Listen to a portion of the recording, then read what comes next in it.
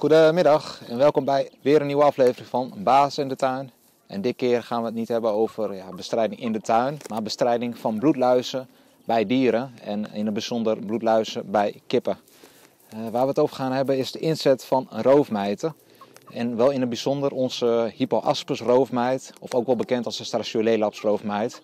Wat een bodemroofmijt is, die eigenlijk uh, ja, de bloedluis opeet, zo kan je het zeggen.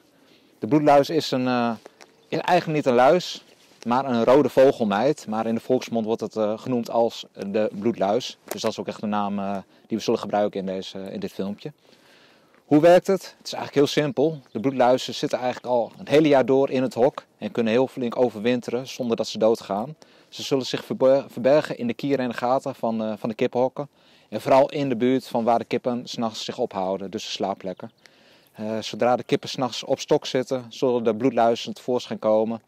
En ja, gaan op zoek naar bloed. Dus eigenlijk prikken ze eigenlijk de bloedluis, prikt de kip en zuigt bloed uit het dier. Zodra de bloedluis zich vol heeft gezogen, trekt ze zich terug in de kieren en de gaten om te wachten tot de volgende nacht en eigenlijk begint het hele verhaal weer opnieuw. Hoe werkt de bestrijding met, met roofmijten? Heel simpel.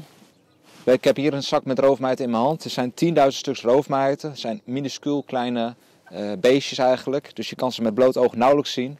Je strooit ze uit in een kippenhok op de plekken waar de bloedluis zich ook ophoudt.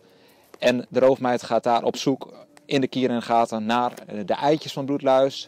En vooral de jonge exemplaren van bloedluis. En zal deze opeten. We adviseren ongeveer 150 tot 250 stuks roofmijten per kip. Uh, dit is afhankelijk van hoe groot de infectie van bloedluis is.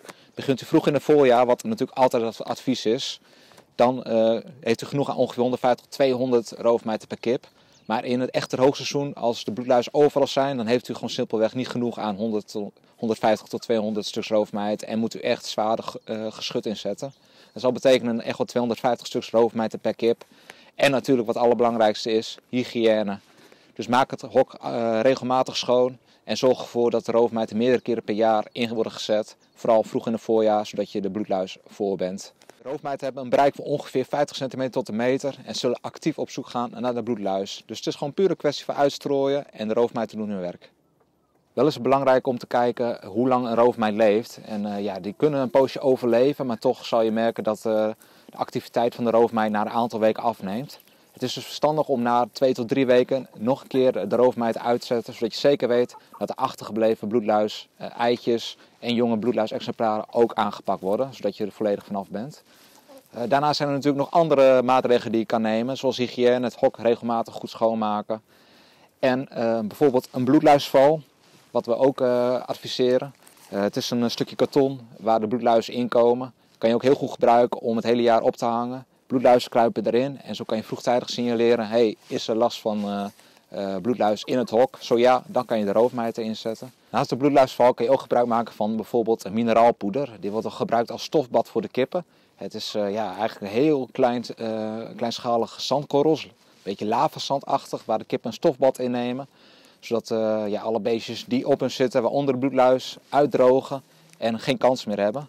Doe je al deze dingen, ben je er op tijd bij dan ben je vrij zeker van dat je kippen zo min mogelijk last hebben van bloedluis. Op onze website nog veel meer tips over bloedluisbestrijdingen. En uh, ja, daar hebben we over praktische tips van hoe ga je ermee om en waar moet je om denken. Dus neem gerust een kijkje op onze website www.biobestrijding.nl en kijk dan onder het kopje bloedluisbestrijding. En daar vind je eigenlijk alle informatie terug. En natuurlijk ook de producten die, uh, die wij leveren ter bestrijding van bloedluis. Bedankt voor het kijken naar deze aflevering van Baas in de Tuin. En wie weet zien we elkaar volgende keer weer terug. Bedankt.